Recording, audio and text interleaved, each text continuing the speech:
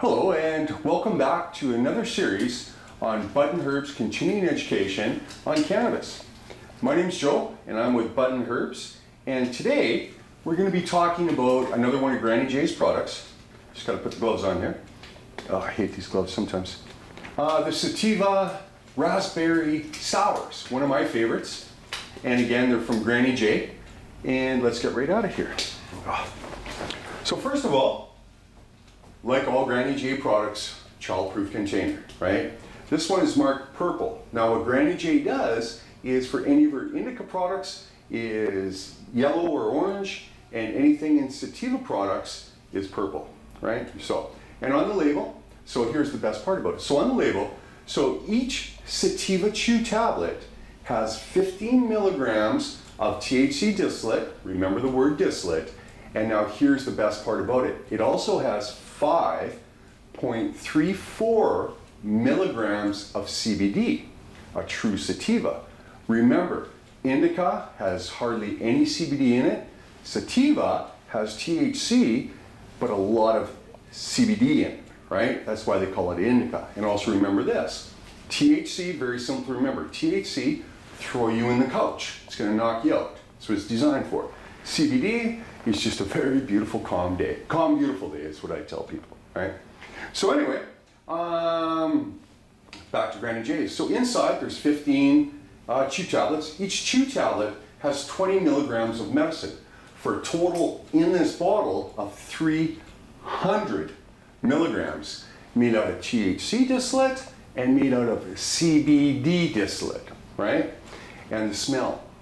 Oh wow, raspberry, I love these things. Mmm, they smell great. Now inside each package, same with Granny J's Indica, there's 15 and each package comes with a flavor package. Lots of flavoring but keeps everything fresh, right? And here they are. I don't know if you can see these, but they're beautiful raspberry color. That's a flavor packet, but here they are here. And very similar, identical to her indica ones. So what's on there, that is not sugar. That is organic. Let me see if we can get that to you again. Probably can't see that, right? That's organic fruit pectin. Um, Granny J used that as the only preservative in it, right? And um, also they put it in the mold for the mold release. So when you're looking at the product and you're going, oh my God, it's got sugar on it. No, it doesn't. This is organic fruit pectin. Go online, do your research, organic fruit pectin, and you'll get into it right there. So dosing, right?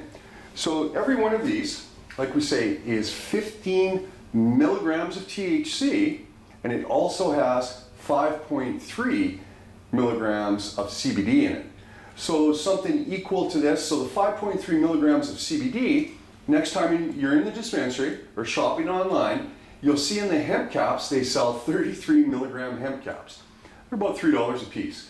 Now, out of those 33 milligrams, the amount of CBD in it is, if you're lucky, anywhere from, you know, maybe three to, you know, maybe, you know, three milligrams, five milligrams, who knows? What you're getting in the hemp cap is you're getting all the plant matter, everything else that's into it, you take it, and it's better than not taking anything, but um, imagine taking one of Granny J's indicas, you would have to take three hemp caps with that to equal Granny J's um, sativa. Now the nice thing about the products is its bioavailability, right? The problem with hemp caps is the bioavailability, how much medicine actually goes into your body. So let me explain that to you. Imagine this. You have a big, beautiful orange, right? Oh my God. You cut it in half. Mmm, it's so nice and fresh. Take the glass, now squeeze that into the glass, right? Drink that glass of pure orange juice back, you just got 100% bioavailability, all that went into your body. Now, everyone's heard of vitamin C caps, right? Everyone probably knows this anyway. So you open up, pull out a vitamin C cap, right? Hard as a rock. And let's say if it's um, 100 milligrams of vitamin C. You take the 100 milligrams of vitamin C, and what's the bioavailability of that? If you go online, you're actually going to be shocked. You're lucky, you know, again, I'm a student in this industry, maybe 10 to 20%, and the rest flushes out in your urine. So one another value of this product is everything in it has 100% bioavailability, which is key, right? Also, distillate. We touched on this if you saw the indica one. Granny J, uh, along with Bud Herbs, only uses pure distillate. Now, distillate is made by using CO2 extraction. There's no solvents, no solvents. So it's CO2 extracted, decarbed, right? Gets rid of the acid. It's decarbed, and then it's distilled. Now, cold pressed. Now, how they do that is everyone's heard of a pressure cooker, right? You put it on the stove, crank the heat, the pressure's inside. The pressure builds so things boil at a lot higher temperature. We'll take that in reverse now. Go with a negative pressure. Um, I'm not going to give away proprietary secrets, but I can tell you this. We can boil water at 87 degrees. Got it? Good. Okay, cool. So in closing, uh, dosing again is very, very important. Start with one. See how you feel. Um, nice thing about with the sativa, what you're going to find is it's it's very uplifting, great for pain, right? But it doesn't throw you in the couch. If you're going to wash the car, vacuum the house, you know, or just you know having a bad day and you want a good day, this is what it is. But start with one. Wait an hour, see how you feel. You might not need another one. If you do, take another one, right? That's why they're in 20 milligram increments. You know, you're not going to get hurt on them. So, anyway, any questions? Uh, please contact us at budandherbs.com. Be more than happy to talk with you about it. And also, always look for the results, test results. Make sure the label is very clear. Again, 15 milligrams of THC and 5.34 milligrams of CBD made out of distillate. Unbelievable value, right? Oh, and also, now, Phoenix Tears. A lot, of, a lot of people use Phoenix Tears, a lot of companies use Phoenix Tears. Just going to touch on it very quickly. Actually, you can have a look at it here. Okay. Can't even see through it. Um, with the distillate, you can see through it, the purity of it.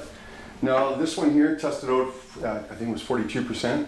So a lot of companies out there, they're saying it's made with, for instance, the bottle has, you know, 300 milligrams of Phoenix Tears in it.